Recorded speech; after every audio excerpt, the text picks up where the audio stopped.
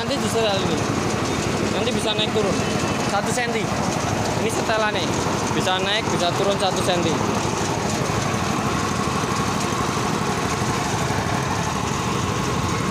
Untuk selanjutnya jangan lupa subscribe my channel untuk membantu kita lebih semangat lagi.